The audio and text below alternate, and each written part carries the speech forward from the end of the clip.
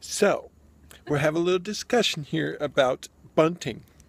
Do we all know what bunting is? Well, it's 4th of July coming up, so we went and bought some bunting. I'll have you know that it's 19.99 at Walmart. And if you go to Home Depot, it's $15.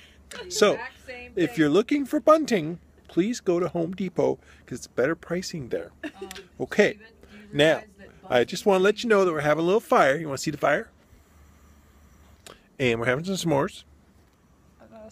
That was Nicole. She's not a s'more. There's the s'more stuff. Anything besides. honey. And here's the lady that's arguing with me right now. You She's are arguing with me.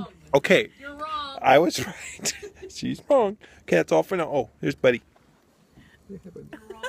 You're wrong about Okay. bunting. So, if you need bunting, please go to Home Depot for $15. Thank you.